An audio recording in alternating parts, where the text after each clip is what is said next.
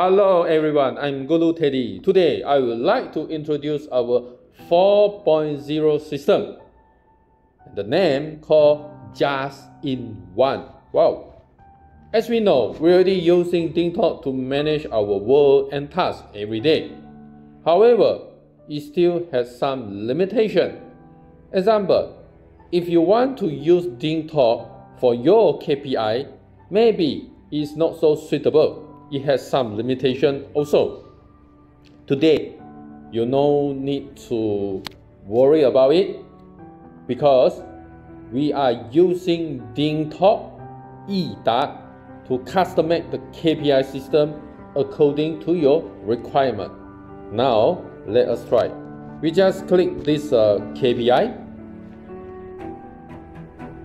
Look. Wow, very nice and this layout and interface we can custom design according to your requirement. Now is the time for us to do the submission. I just click the button and this one we call performance assessment. In this case, the worker has to submit the assessment every quarter.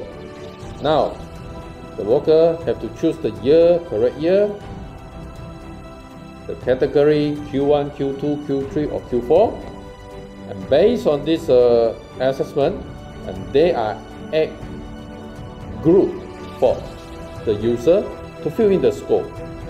Example, if the worker think that he is eligible for point 4, he just click the point 4 and click OK. And at the same time, he must write down the details. What is the reason he is eligible for this point 4? After this person fill in, the system will auto calculate the grand total score and also the grade E. So based on this grade, we can know that our staff falls on which grade. And if this person entitled for grade A or B plus, of course, next year maybe he will entitled for salary increment or other benefits. And here you can see why I attach so many languages. We know that uh, in Malaysia, uh, most of the companies they have multi races. Uh, some Chinese, some Malay, and also some foreign worker. If we give them three different languages, it will be easier for them to understand. At the same time, they also they can write down the points. Now, after fill in, after do the submission, all the data will go to KPI and this one we call dashboard. Wow! Can you look? Just now, whatever we do the submission, all the data will be automatically updated in this dashboard. In other words, is real-time data. So based on this uh, table, we can see that Teddy Chia is already number one in this company and what is his score and what is his grade. Very simple.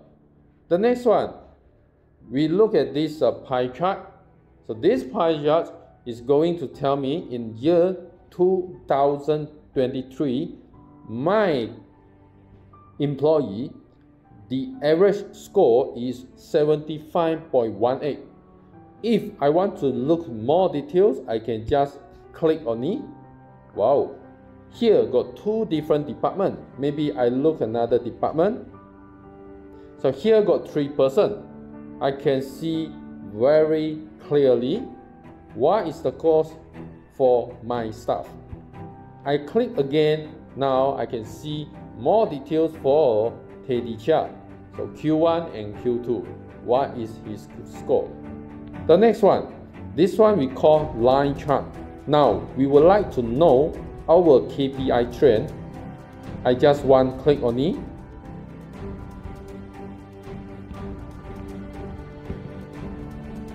So based on this trend, uh, it clearly showed it from Q1 to Q2, the trend is drop.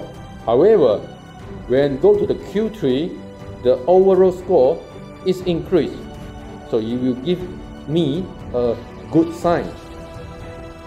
Another one, here also another line chart. So based on the line chart, I can see my overall employee. So I just put the finger, I can see clearly uh, what is my staff average score. The next one, and this one we call DIY report. Here, do you see what doesn't mean the pivot table? I believe if you are using Excel, you should know the pivot table. So now, we can, based on this, we can DIY our report.